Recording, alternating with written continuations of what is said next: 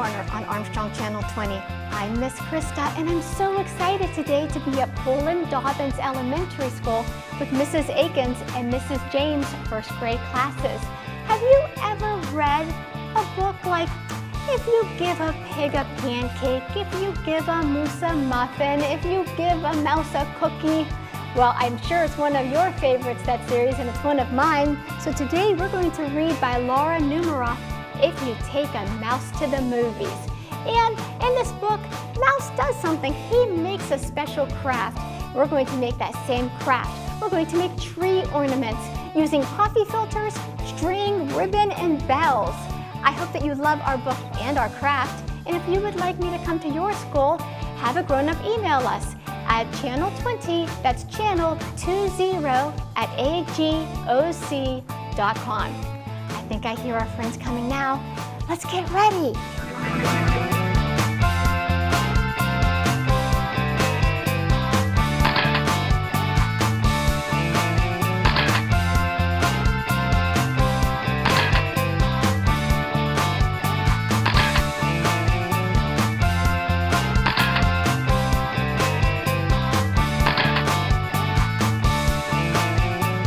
Who knows who I am?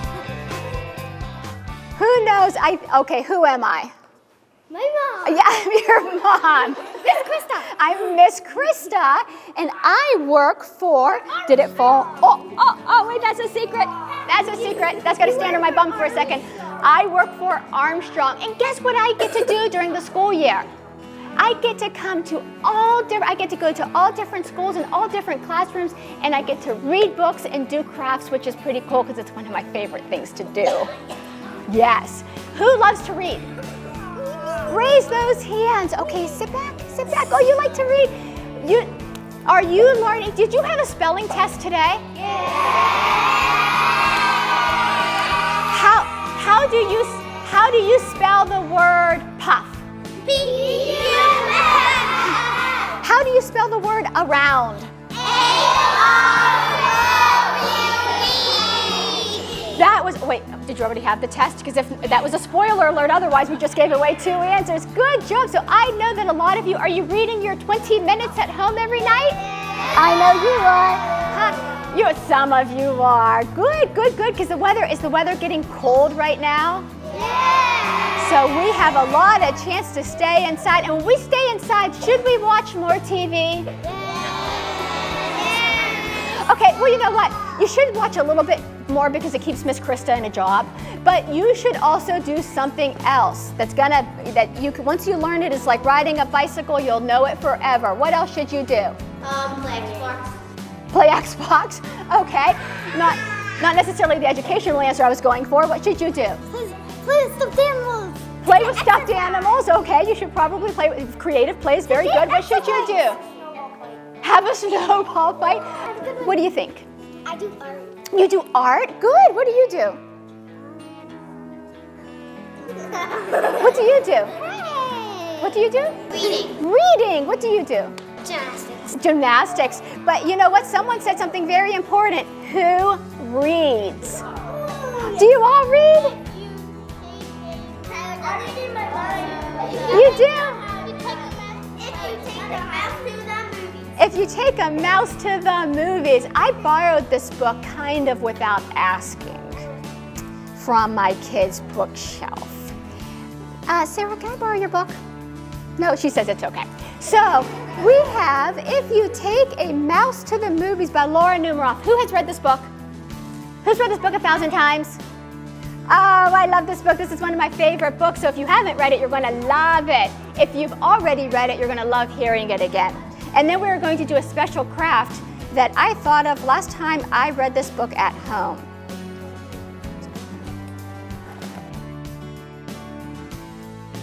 If You Take a Mouse to the Movies by Laura Numeroff. If you take a mouse to the movies, he'll ask you for some popcorn. When you give him the popcorn,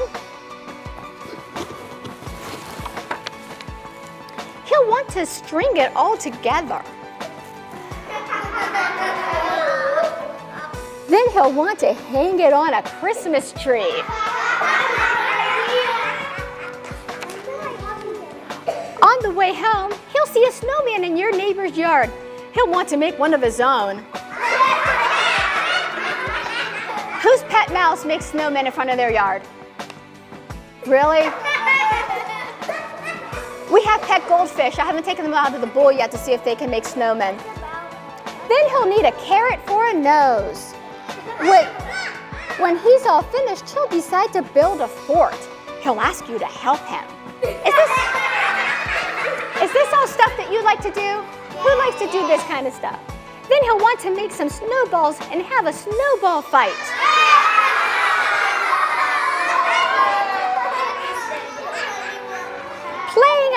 Will make him cold. He'll want to go inside and curl up on the couch. that wasn't funny. He's sad and cold. Where's your sad face?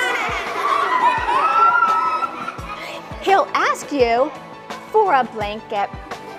This is my favorite, by the way. This is my favorite page where he's warming up. Once he's nice and cozy, he'll want to listen to Christmas carols. Who listens to Christmas? Who listens to Christmas carols right now? Huh? They're on Mix 98.9 on the radio, huh? Every day right now. You'll have to find some on the radio. For us, he'd only have to turn on one station. He'll probably sing along.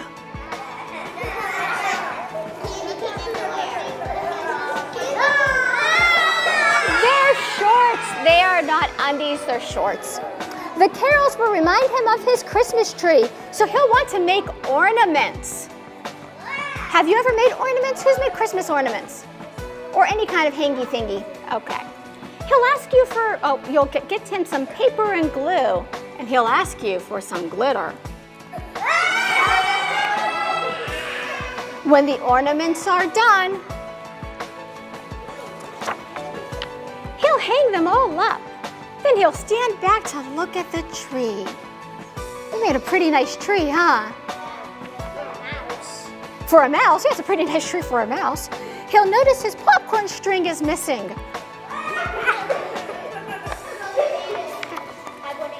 So he'll want to make another one. He'll ask you for some popcorn, and chances are, if you, when you give him the popcorn, he'll eat it. I'd eat it. He'll want you to take him to the movies. Bravo, well done. So, thank you, thank you, thank you. I was, I was reading this book with a, uh, a certain young lady one day at home. Her name begins with a Sarah. Um, and uh, there was a page that we happened upon, and it was this page. And she says to me, That's a lot of ornaments for a mouse. How does a mouse make that many ornaments? And I said, I don't know, but then I thought, that's a fantastic idea. So that's what we're going to do. You are going to make your own ornaments to take home. And you can give that you can hang them on your doorknob or on your wrist or on a tree or give them as a gift. It's got a little bell on it. So we are going to, with your teacher's permission only, we are going to get you set up at the tables because the first thing you need to do, do you know what I made these out of? You know what I made these out of? Paper, tissue paper. Tissue paper. What did I make them out of? Um, coffee streamers. Coffee filters. I made these out of coffee filters. Sorry, spoiler alert, somebody has an inside seat when I beta test these at home. So I made these out of coffee filters, and that's what you're going to do. But the first thing you need to do is get your creative thinking skills all ready.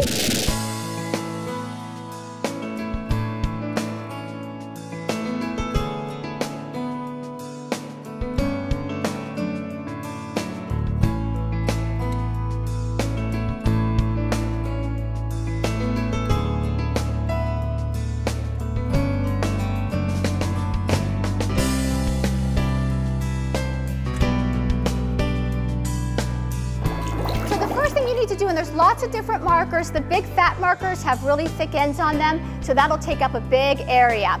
And the littler markers, of course, have little tips. So so it'll take you a little longer, but that's okay.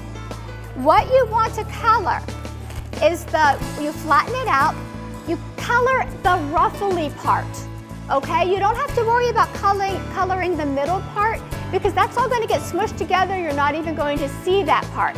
So just concentrate on coloring the ruffly part. After you color it, we are going to wet it. And when we wet it, all the colors will bleed together and it'll look like tie-dye.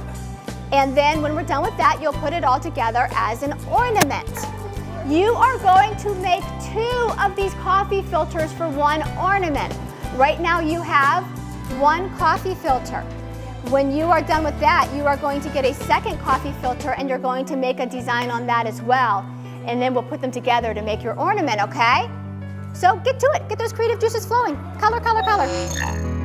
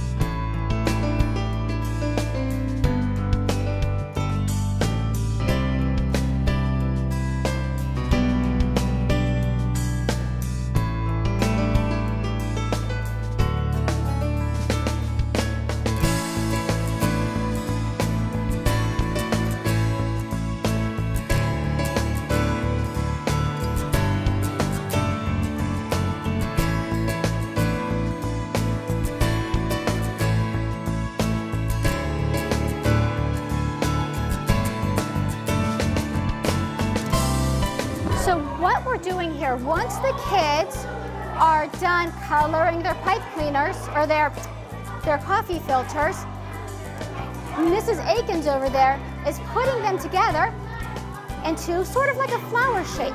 And then what I'm doing is putting a bell on the back so it'll jingle for them. And then I'm tying up the pipe cleaner and I'm putting a ribbon on it, thank you very much, young man so that they can hang it on their doorknob, on a tree, wherever they like. And now pick a gem that you like, please. So once I put this on so that they can hang it, they are going to put a gem in the middle.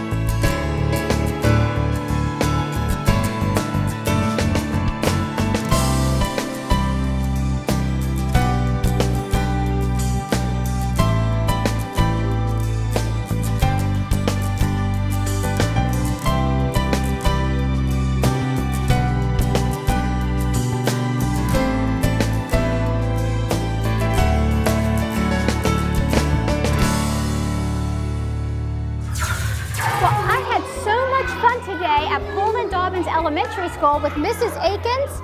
Thank you. And Mrs. James's first grade classes. And of course, we had Mrs. Baldwin and Miss Inez here today.